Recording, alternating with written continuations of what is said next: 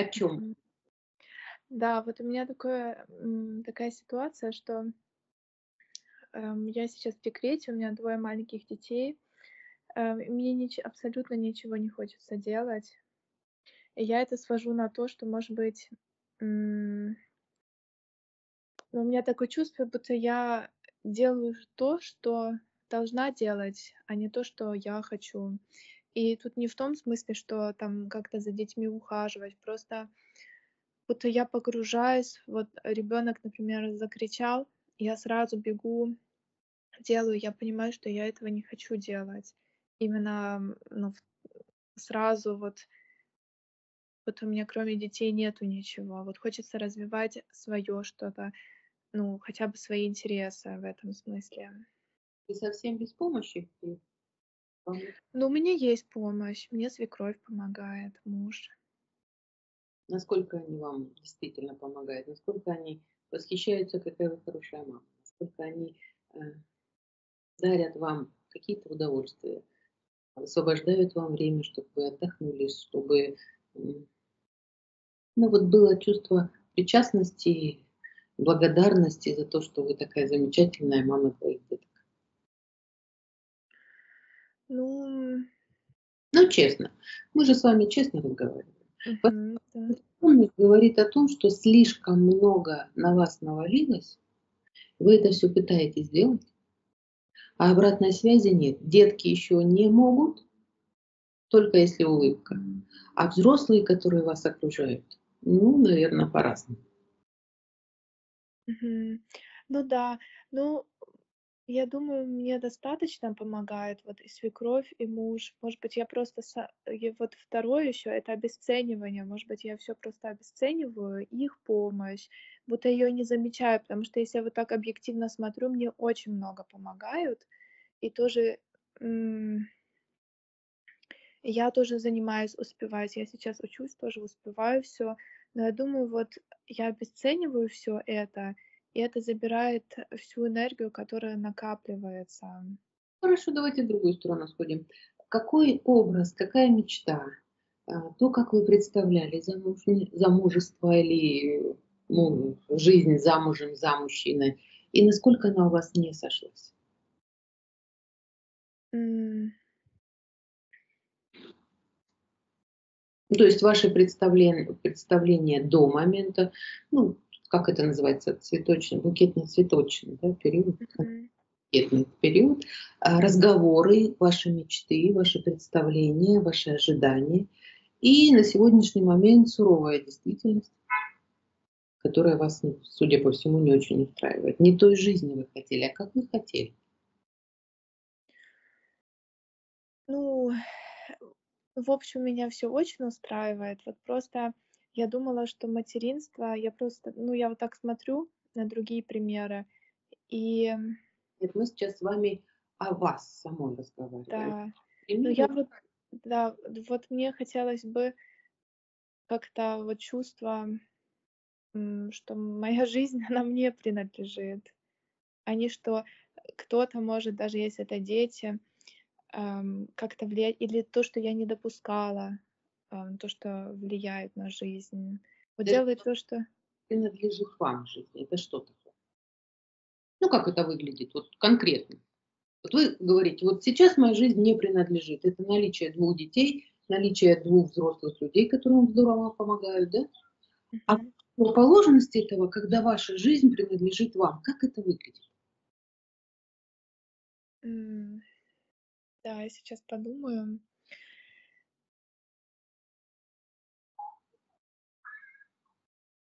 Ну, то, что я организовываю, то, что эм, от моей, ну вот я беру инициативу в свои руки и делаю, вот просто организовываю. Допустим, я хочу куда-то съездить.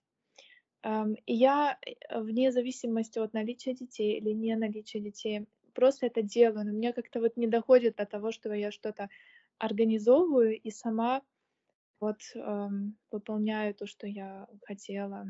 Проще сказать, вы просто живете в голове. Да, может быть, да, это... Образ у вас голове. Давайте с этим разбираться. Да. Вот какой он в голове? Вот день начался, и у вас в голове есть какие-то мысли. какие-то представления, как он должен быть, как, он, как, как вы это организуете. Во-первых, что организуете? Во-вторых, каким способом организуете? Кто вам подчиняется, кто вам не очень подчиняется? Угу. Принципе, какая обратная связь от ваших мыслей у вас в голове по отношению к тем людям, которые там участвуют?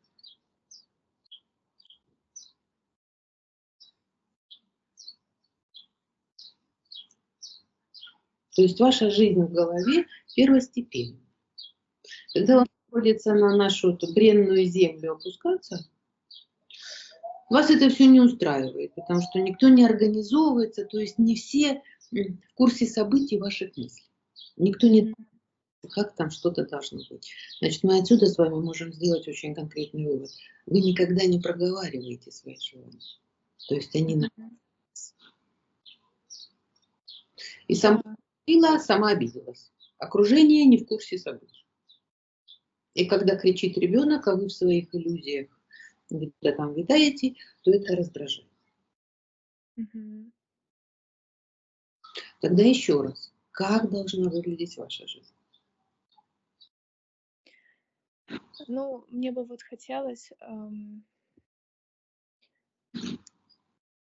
да, говорить то, что я вот хочу. Я думаю, у меня есть свои мысли, но мне как-то вот трудно, будто эм, существует некий барьер, хотя мой муж очень внимательный, он даже хочет, чтобы я говорила, но существует, или даже вот к детям, да, эм, что меня тормозит как-то, ну, страх, что меня не услышат, например, что я скажу, и меня все равно не услышат. И я думаю, а зачем тогда говорить, если все равно не услышат? Хотя опыт показывает, что муж меня слышит. Хорошо, значит, вы обрели этот стереотип, такую внутреннюю нерешенную задачу из собственного детства, то есть из вашей семьи. Скажите мне, пожалуйста, кто вас в семье не слышал? Папа, мама, брат старший, старшая сестра, тетя, дядя, бабушка, дедушка? Кто? Ну, я думаю, вот родители. Да, оба родителя. Как это выглядит? Ну, я хотела, например, что-то сказать, рассказать, э, с мамой поделиться или с папой. Ам, родители просто, а, ну, мой папа, например, иногда насмехался или говорил, что ты глупая, что ты такое рассказываешь. Мама, например, ну, у нее не было времени иногда или там свои какие-то дела. Кто был главный в вашей семье, когда вы были Главный для меня или в общем в семье? В семье. Кто принимал решения и кто имел безапелляционную власть над всем происходящим? Ну, я думаю, папа. А теперь папа у нас какой? Насколько э, он вообще с мамой в хороших отношениях? Ну, когда я вот росла, ну, не очень были отношения. Значит, у нас получается так, что э, для вас папа в бессознательном вашем это какой-то такой суровый мужчина. Суровый. Достучаться ну, практически невозможно. Угу. А вы у меня начинаете папу сурового отыгрывать, когда никто не догадывается, какие у вас прекрасные мысли в голове. То есть вы делаете то же самое, когда вас папа обесценивал и не интересовался тем, чем вы заняты и как вы э, хотите проявить себя при помощи слова, то есть поделиться, да? Значит, вы сейчас ходите как папа, абсолютно всем недовольная, ничего не желающая делать, а жаждущая подчинения. Так получается. Да. Тогда смотрим дальше на папу. Насколько папа успешен? Насколько папа перспективен? Насколько папа здоров? То есть я сейчас объясню, к чему я это веду. Да? Когда мы одеваем на себя чужую роль, то есть чужую форму жизни, чужую модель жизни, мы берем все полностью болячки, успех, неуспех, замысел, умысел, раздражение, любовь, чувство уважения или наоборот абьюзовство, да? И последствия все, то есть негатив или позитив, ну, плюс или минус условно. Значит, вы сейчас в своей среде, а женщина, хотите вы того или не хотите, вы молодая и красивая женщина, вы своим недовольством, нежеланием что-то делать, создаете вокруг себя, ну, такую токсичную среду. Вот, да, я тоже так чувствую. Я это прям чувствую, что вместо созидания я просто разрушаю, хотя при этом мой муж, он, э, ну, правда, очень хороший, и тоже, даже несмотря на то, что я разрушаю, он старается вот как-то не, ну, нейтрально к этому, не зацепляться от этого. Вот это тоже такой пункт, который я хочу как-то поработать над этим, чтобы не разрушать, а созидать наоборот. Хорошо. Когда папа что-то разрушал, как вы его помните? Какие вы Ну вот, а, ну если вот, да, ну, например, каким-то ну, через какие-то унижения, там, шуточки оскорбительные. Ну, я, по крайней мере, помню, я разрушалась, я очень э, это близко к сердцу принимала. Я хотела поделиться или просто что-то абсолютно нейтральное сказала, и папа, например, насмехался надо мной. Значит, унижение другого человека, то есть превращение его в предмет, который можно оскорблять, унижать, обесценивать, папе давало пресловутую власть и удовольствие. Теперь смотрим, насколько папа ваш реализован в социуме, как мужчина, который чего-то достигает, чему-то обучается и имеет перспективу. За что этого человека уважают, насколько он там успешен.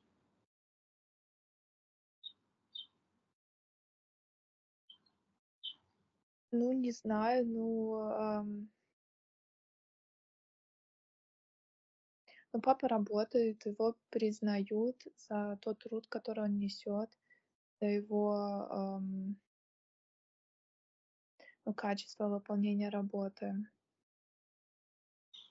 Значит, получается, что папа желает, чтобы какое-то сокровенное его желание было более реализовано. Да? Значит, он находится в подчинении, правда?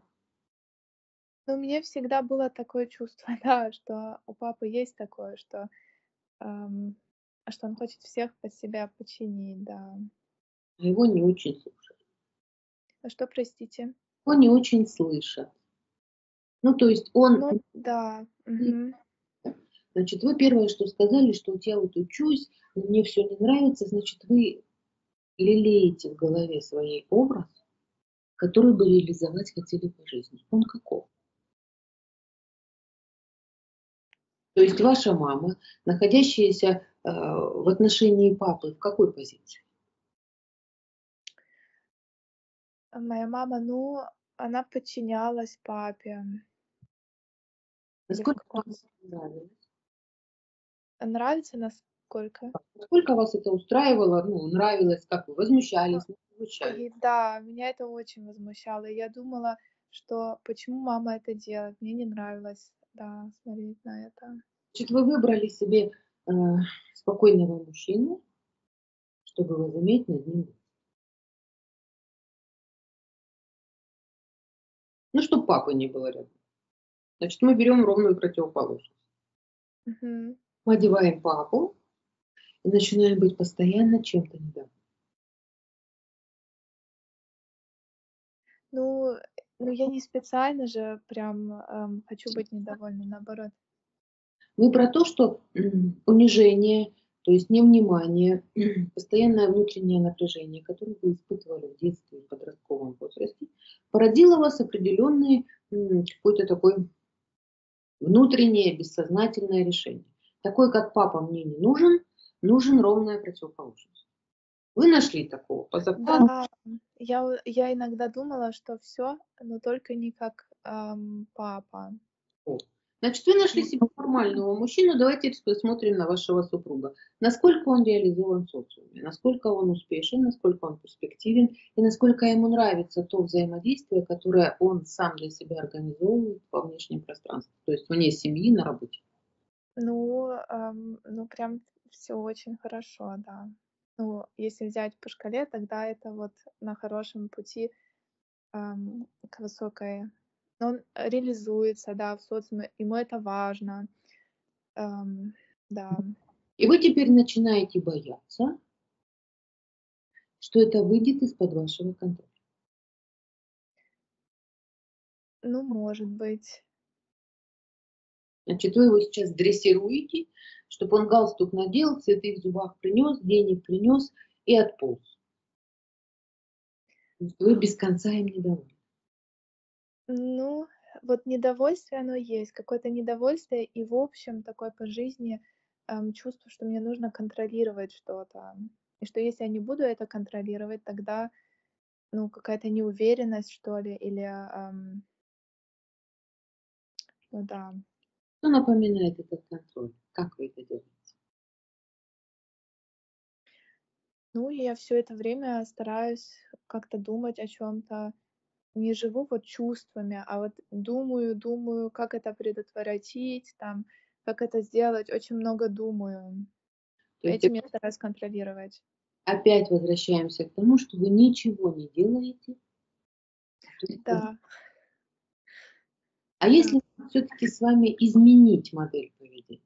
Если научиться завести традицию в семье, когда вы приходите, вернее, муж приходит домой, вы там условно что-то приготовили покушать, и вы начинаете с супругом разговаривать. Я понимаю, что попервой это будет непросто.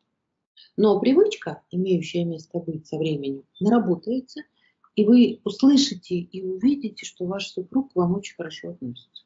И тогда папина модель вот этого токсичного человека, который сам не особо удовлетворен своей жизнью и желающий подавить всех, чтобы не было ни у кого реализации выше, лучше и качественнее, чем у него, и создает токсичную среду, которая всем некомфортна. То есть порабощает людей, а потом же ими недоволен, так как они не оправдали его ожиданий. То есть вы недостаточно хороши, мама ваша, его супруга тоже недостаточно хороша. Понимаете, о чем я говорю? да, понимаю. Сейчас как папа живет?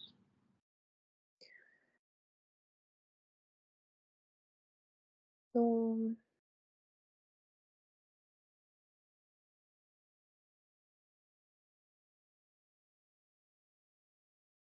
ну, я думаю, просто как ам, модель поведения, не знаю, ну, мне это как-то трудно сказать, но я думаю, что-то изменилось, но принцип, вот как стру- ам, структура, да, она еще, ну, никуда не исчезла.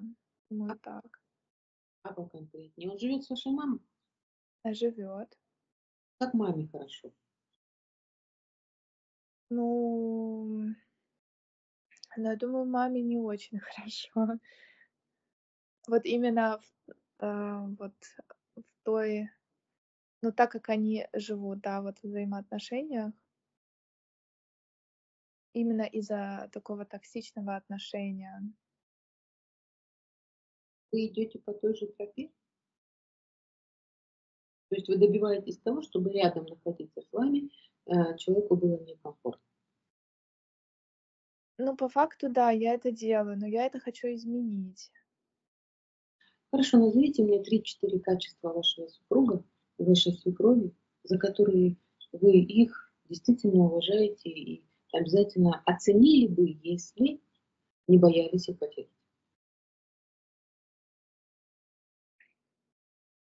Ам, ну, да.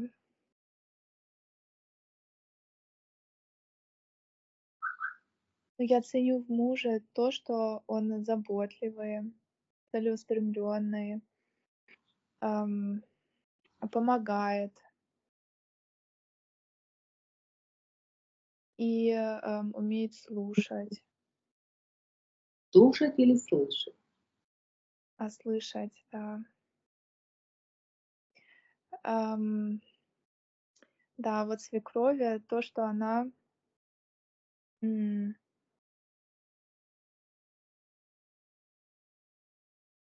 мне сказать достоинство или то, что я ценю? А это разные вещи. Ну, а не знаю, то, что я ценю, это более как мое личное, не знаю, мне как-то проще вот сказать то, что я ценю. А То, это не что, является достоинством человека? ну, наверное, да, достоинство, да, тоже. Ну, так и назовите. Но я вот ценю то, что она понимает мое положение, помогает мне, поддерживает меня. Даже если вот как-то краткосрочно попрошу, она мне помогает. То, что она заботится, тоже, ну, а, то, что я ценю еще, то, что она не вмешивается, как-то не говорит, если ну, как-то дополнительно, чрезмерно, я просто знаю другие случаи, но вот мне нравится, какие у нас взаимоотношения. О вас и о вашем уважении к вашей свекрови. Почему все время съезжаете? У кого лучше, чем у вас? Да.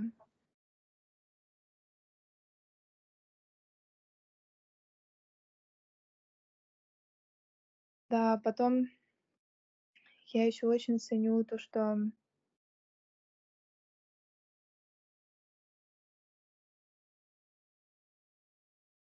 Ну, в общем, я ценю то, что она воспитала, эм, такого сына, и я ее, в общем, уважаю просто из-за того, что она что это мама моего мужа.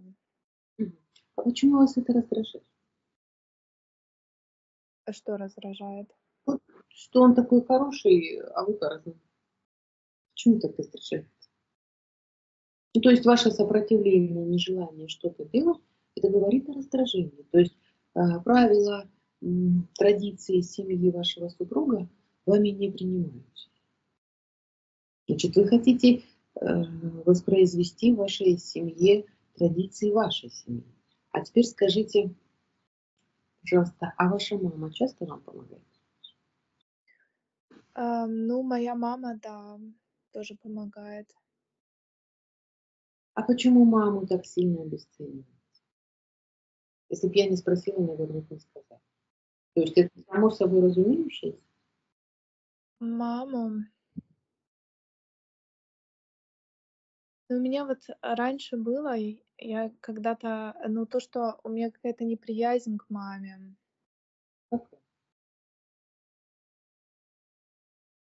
Ну, то, что как-то, не знаю, я ее что ли, ну, я ее считала раньше слабой. И, э, ну, то, что мама моя, дескать, мне нечто не додала как-то. Я как-то обижалась на это. Что не додала? Ну-ка, давайте, Юлия, в эту сторону сходим. Ну, э, любви. Как это? Как-то поддержки, внимания. Как это должно было быть, вот, выглядеть? Как это? Чтобы вы поняли, что мама вам додала.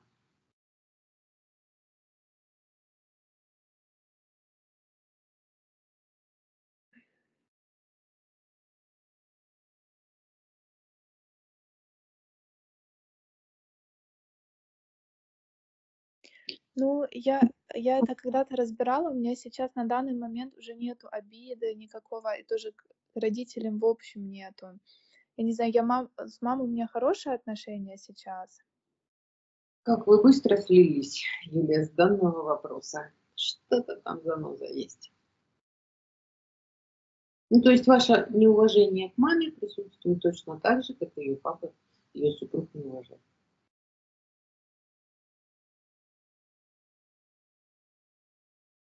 Ну, она просто должна. Ну нет, я так не думаю. А как вы думаете? Вот ваши отношения. У меня вот, у меня есть такое, что я думаю, что мне все люди должны что-то. Это... Список, пожалуйста, озвучьте. Что мы тут вам все задолжали? Не, ну, я, ну не знаю, у меня такое мировоззрение, что я это недавно отследила у себя, что я считаю, что все мне люди должны что-то. Должны, конкретно что? У нас есть предметы, у нас есть эмоции, и у нас есть знания. Ну, должны, э, например, муж меня должен эм, как-то любить, со мной общаться, там как-то развлекать, думать о том, что я эм, хочу или куда-то там поехать, да то, что мне должны помогать, вот что, э, например, свекровь должна помогать, мама должна помогать. У меня очень такое эгоистичное отношение к людям, что все мне должны, а я при этом ничего не должна. Ну, я так не думаю, ну, это просто как-то вот проявляется именно в моих проявлениях. У меня прям, ну, такой фокус внимания на себя, что да, это вообще случайно, что я это увидела как-то. я всегда что-то ожидаю других. Я вот моя мама мне, например, там звонит или свекровь что-то говорит, и я это воспринимаю как должное, что типа, да, вы мне должны. Юлечка, а насколько вы счастливы? Как вы видите в вашем образе понимания любви?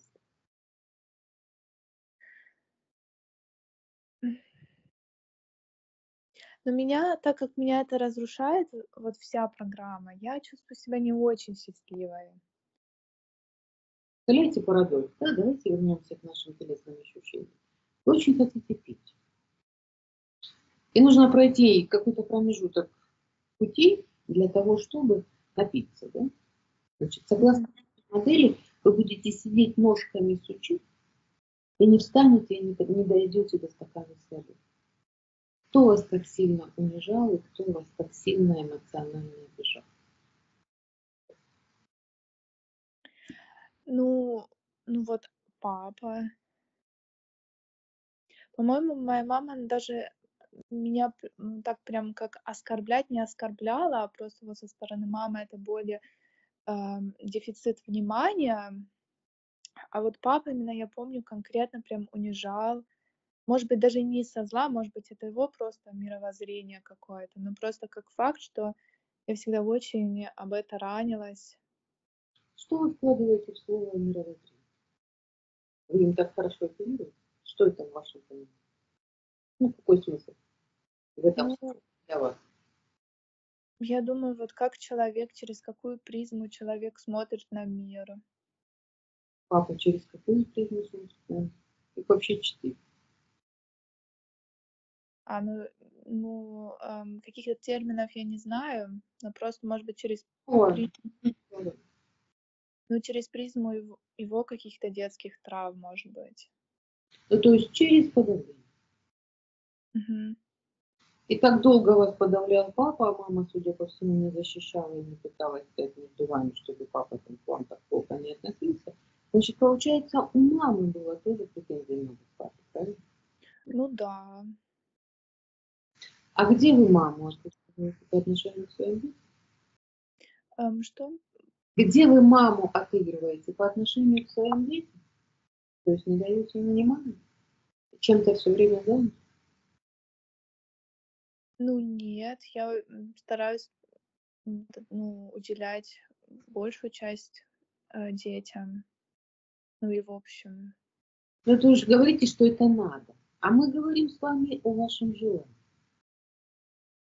То есть, а ну я хочу детям, я хочу детям. Хотите, мучить, между этими вещами пропасть.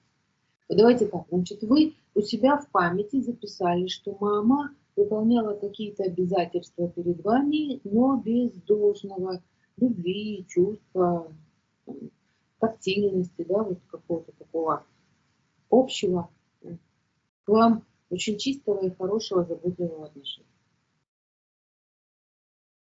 Ну вы же откуда-то это взяли.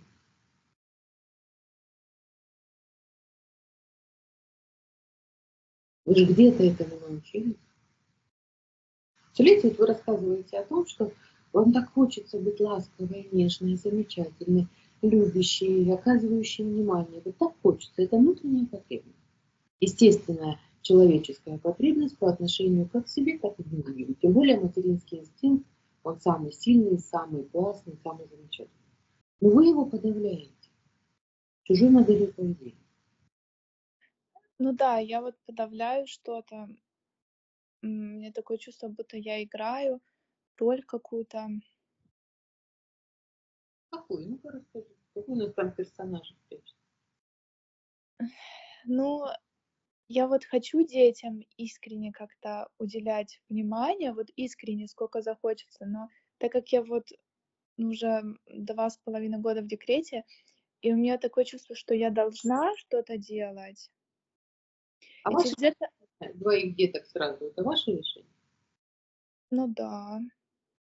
А на чем оно основано? Ну, первого ребенка э, мы просто так хотели, ну, ну, на, на свои ценности я всегда хотела, эм, ну, ценности жизненные, в смысле, мне хотелось всегда детей иметь. А может быть, это не совсем, я вот так думаю уже, может быть, это не совсем как-то, ну, мое желание было, а просто потому что так И- надо. Подождите, Юлия, чью жизнь вы так здорово пытаетесь скопировать? Вот жизнь каких-то людей, э, просто ам, посторонних, даже не конкретного человека, а в общем, как, не знаю, установка или фокус внимания, вот мне нужно всегда вот смотреть на других, или я смотрю, сравниваю, думаю, ой, у меня не так, как у других. Вот я просто хочу спокойную жизнь в том смысле, что просто наслаждаться, вот в декрете быть. Я хочу этим заниматься. Но что-то меня останавливает. Что, Вот, вот подождите, какие-то плавать вот так э, в размытой водичке, что конкретно? Ну, я думаю, я переживаю о том, что просто посторонние люди скажут, мои родственники, родители, что типа я не работаю, я должна работать идти. Зачем? Чьи слова? Ну, это слова, например, ам, ну вот моих бабушек, они это говорят. Потом в общем общество говорят, что женщина должна Я вас умоляю, кто там кому чего должен? Где вы это все слушаете? Наоборот, сейчас в обществе декларируется история, что женщине работать не нужно, и она должна быть домохозяйкой, собственно говоря, подчиняться своему супругу и даже не жить. Сейчас такая тенденция, мода в обществе. То есть мужчина все должен. Вы-то как-то так красиво переворачиваете, то есть у вас не происходит конечного выбора и принятия решения все-таки о собственной жизни. Хорошо, давайте в другую сторону зайдем. Как вам комфортно бы было? Вот жизнь, как бы комфортно? Ну, эм, ну, находиться в декрете вот на данный момент, я не, не категорически против реализации, просто против реализации активной именно во время декрета. Что здесь декрет? Это конечный промежуток, какой-то отрезок э, небольшой вашей жизни. Зачем Ну да. А я говорю о том, вот представьте, что в вашей, вот сейчас в вашей руке, я не знаю, волшебная палочка. И вот вы, взмахнув этой палочкой, можете сейчас э, воспроизвести образ комфорта, который, на ваш взгляд, это самое лучшее положение, какое вы можете себе. И оно вас будет абсолютно удовлетворять. Как это выглядит?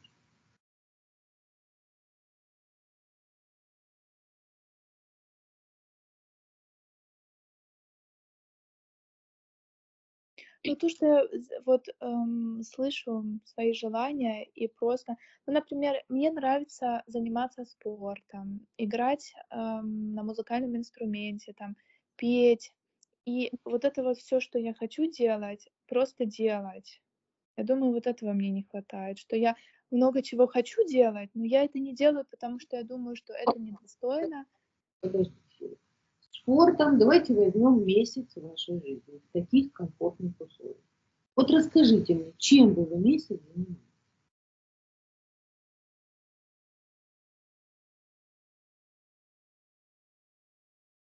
Но я бы э, вот продолжила учебу, я или в каком смысле?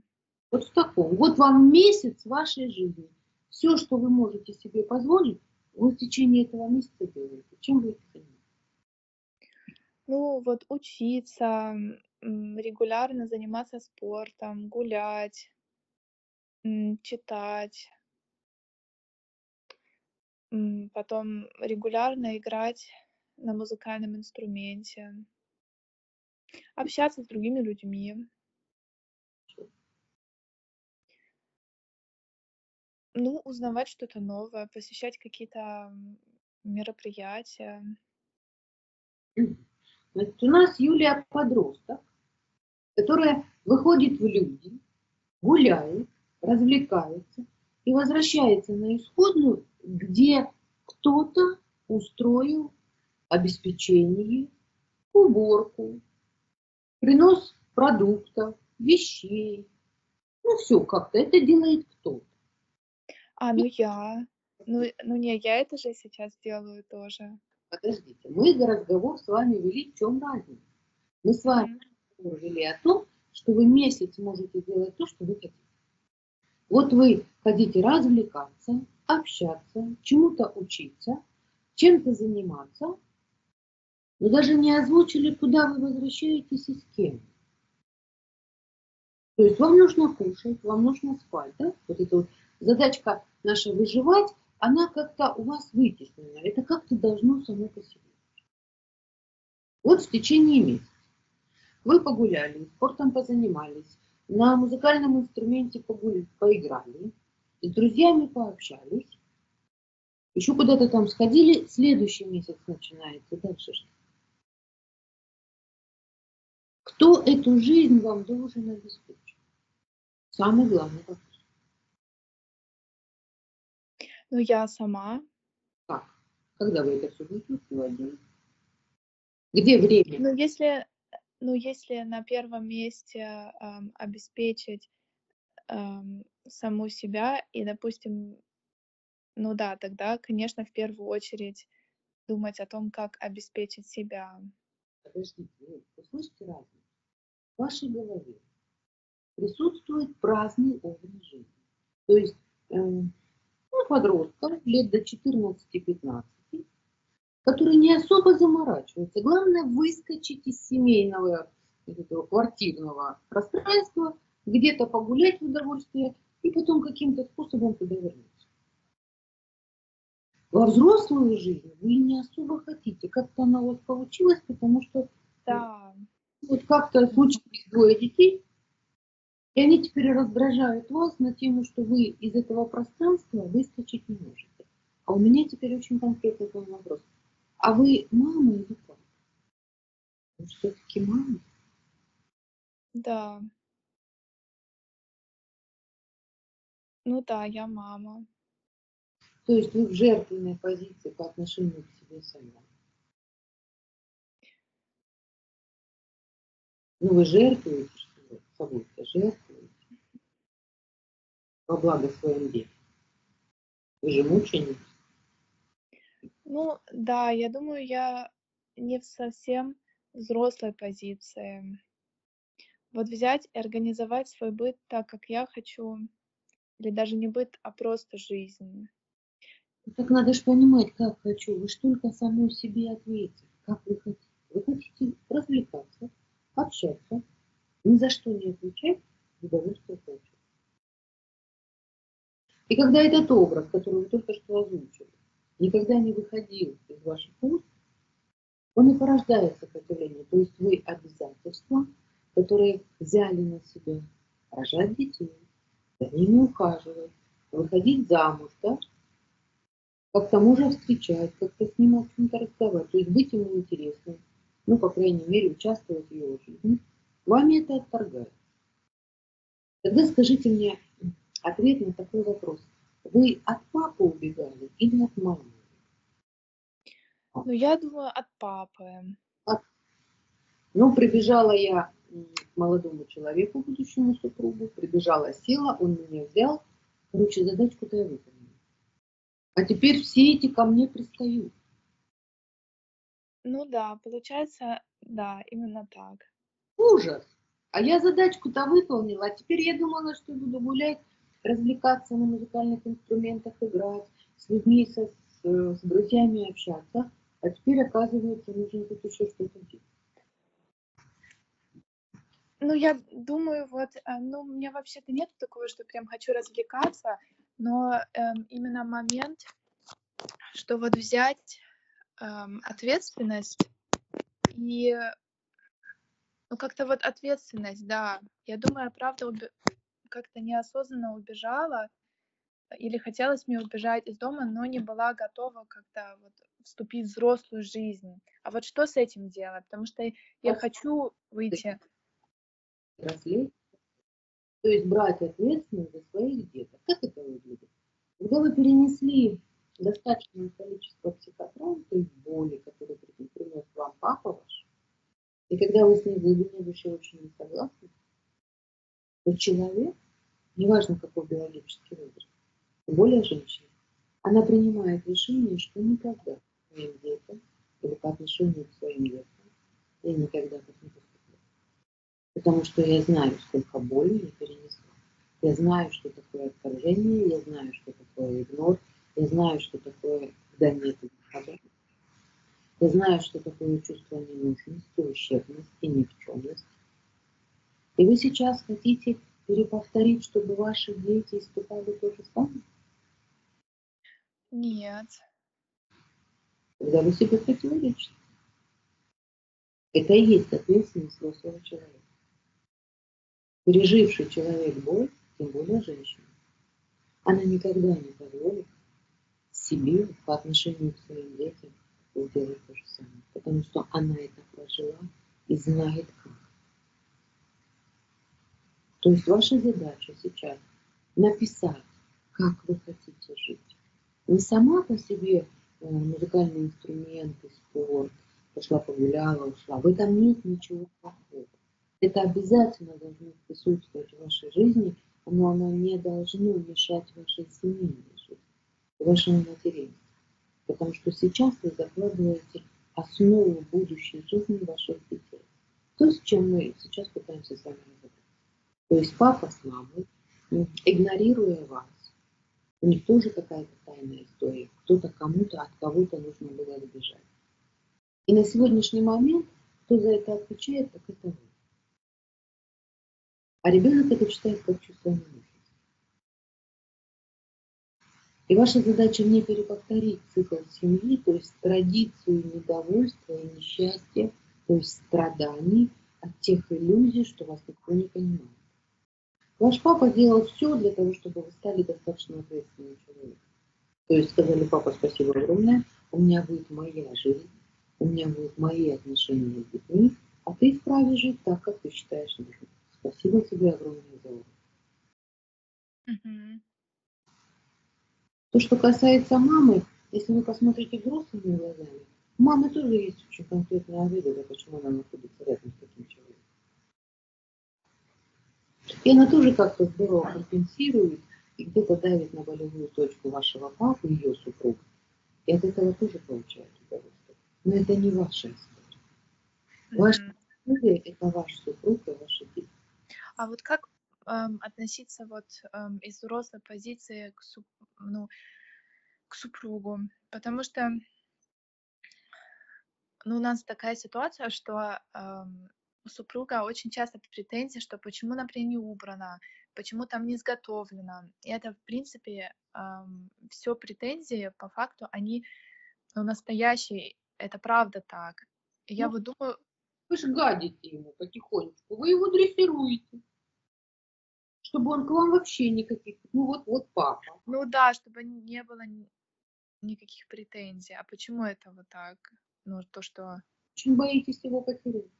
То есть вы с ним боретесь из расчета, чтобы он подчинился, чтобы вы э, главенствующая семья. Но отношения совсем другие. Он просто когда-нибудь может не прийти. Ну вот, да, я это понимаю. Я даже иногда вот говорю, что ну, из ряда прими это так, как есть. Чего? Ну, хотя... Посмотрите на его маму, вашу свекровь. У нее в доме так, как у вас? Ну нет. А почему он должен принимать ваши, если он привык к маме, у которой чисто, достойно и всегда вкусно? Ну я вот заметила, отследила, что я хочу, например, убираться, но я это категорически не делаю, может, потому что я не в роли взрослого, который... Мне это кажется вообще все неподъемным, очень тяжело с двумя детьми убираться. Провоцируете конфликт для того, чтобы почувствовать себя страдалицей. Вы тоже... Да, для того, чтобы подтвердить, чтобы муж мне отразил мое чувство, что я недостойна. Потому что каждый раз, когда он говорит, и я даже была такая ситуация недавно, что я его спровоцировала на то, что он меня оскорбил. И для того, чтобы подтвердить ну, себе, что да, это правда, что я недостойна. Я... 10 минут назад я у вас спросила, за что вы уважаете или что в своем супруге вы уважаете.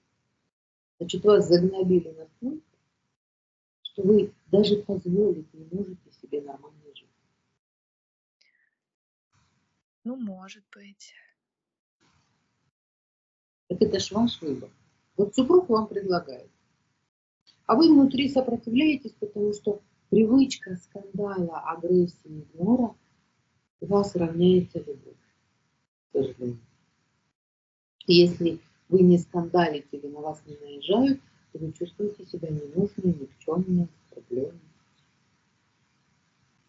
То есть любовь в вашем понимании – это традиция семьи, где э, все боятся, все чего-то ожидают, все находятся в напряжении. Ну, э, ну нет, у меня эм, любовь это эм, что, ну, приятные чувства с любовью, не то, что просто я через провоцирую как-то, вот чтобы подтвердить себе, это, наверное, просто мое мнение о себе, что я никчемная, там, недостойная, и чтобы муж мне это отразил, потому что на самом деле ко мне не относится недостойно, он относится ко мне хорошо, а я его провоцирую вот разными...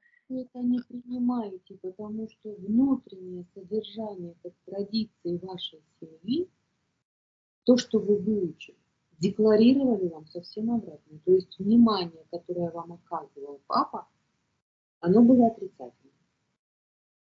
И вы изощрялись по-разному. Как же это внимание получить? Неважно, ребенку неважно, мне не стоит. Важно, чтобы оно было. То есть у вас восприятие работает на то, если вас оскорбляют или вам недовольны, значит, вам оказывают внимание. Это и называется среда обучения. То есть а среда вам некомфортно. И в силу вашей природы, что конфликт как образ жизни – где вы должны или защищаться, или нападать, имеет место быть. Но если вы выходите в люди, то вы там поспокойнее будете, потому что там прилететь может с разных сторон. И вы там такая приятная девушка, и такая нужная жена, и такая мама-мама. Приходя домой, то есть переповторяете да? папу, вы начинаете там создавать неприемлемые ситуации, для того, чтобы ваш супруг был вам недоволен. То есть переповторяете среду своего. Но вот что с этим делать? Понимать, что любой ваш конфликт рано или поздно приведет к тому, что ваш супруг, который не приемлет, у него нет файла какой, каких отношений, где-то зацепится. А вы будете иметь право кричать о том, какой же он бросил маму с двумя детьми, вот это жертвенная позиция. Угу. Вот это выбор. Вы хотите всю жизнь страдать, потому что одели чужую иллюзию не нужно? Ну нет, я хочу вот что-то изменить, жить свою да. жизнь. Конкретно в вашем доме должно быть уютно. У вас должно вкусно пахнуть. У вас должна быть улыбка на лице, когда приходит ваш супруг. У вас должны звучать слова благодарности и свекрови, и маме, и ему в том числе, за то, что он создает для вас такие комфортные условия. Вы их принять не можете. Просто еще раз попытайтесь сравнить жизнь вашего супруга с мамой в доме и вашу жизнь в вашем доме. И найти, как в той игре, 12 отличий. И вот эти 12 отличий вам и нужно искать. Понятно. Ой, да, спасибо, я поняла. А, а вот то, что слова благодарности, у меня вот, я это будто из себя как-то вытягиваю, я это пока еще не чувствую. Я, конечно, стараюсь, мне искренне хочется поблагодарить окружающих, но это более как я вытягиваю вот рационально. Это нормально, что я рационально... Эм... Послушайте, когда человек сам ничего не создает, а только рушит, он никогда не оценит то, что создает другие. Но внутренняя его низкая самооценка заставляет и принуждает разрушать другого, чтобы не чувствовать собственную ущербность,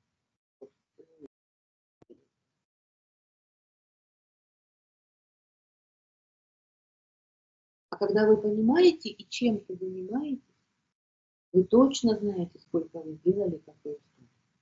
Mm-hmm. И если вам создают условия, то вы учитесь видеть, что ничего в этом мире просто так не бывает.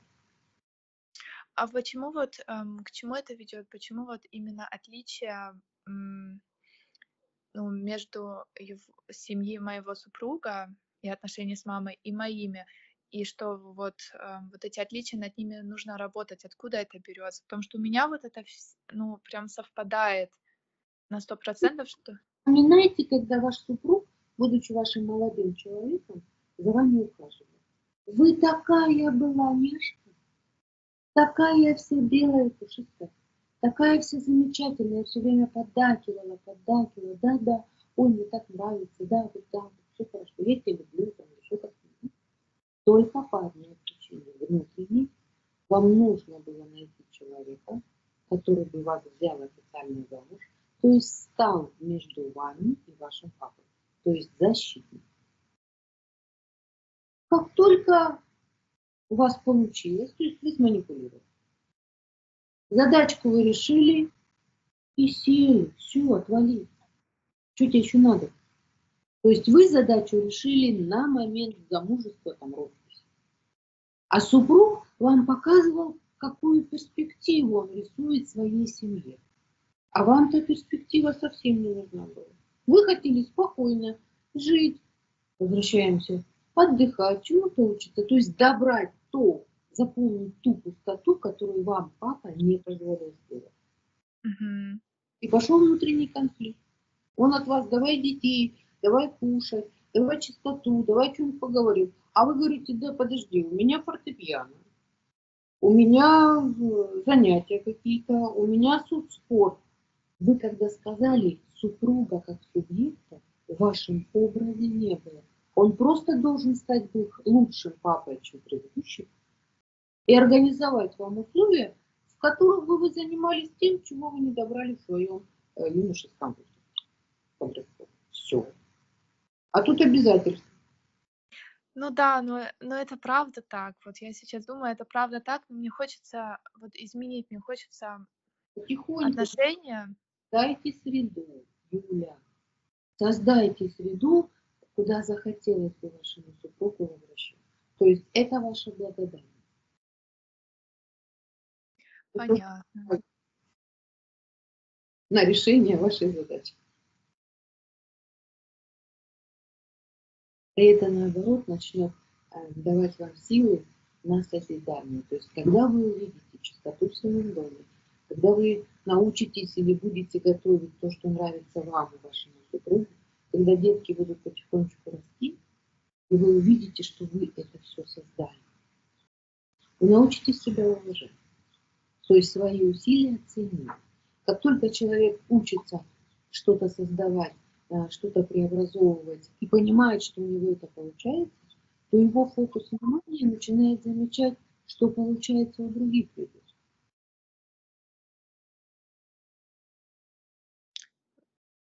Хорошо, да.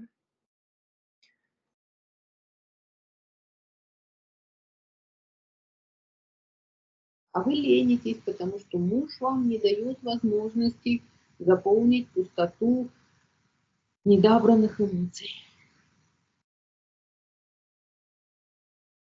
Ну да, у меня иногда такое ощущение, будто эм, мы не на одном уровне, а как-то, ну, муж в роли отца, а я как ребенок должна еще как-то оправдываться, там, говорить, что, ой, это, вот э, в такие вот отношения.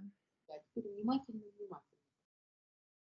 Если вы еще лет пять вы в лице своего супруга. Можете повторить? Не, не слышно было. Если вы в течение пяти лет будете провоцировать его на какие-то агрессивные действия, то есть нежелание, какое-то отрицание, да, там, то, то, ни, ни о, ни, то ни о чем, нет, то ни о чем вы разговаривали, ни о том, о чем вы договаривались. Через пять лет вы получите папу. Понятно. То есть вы заставляете его копить пассивную агрессию, последняя перышко, как на верблюде.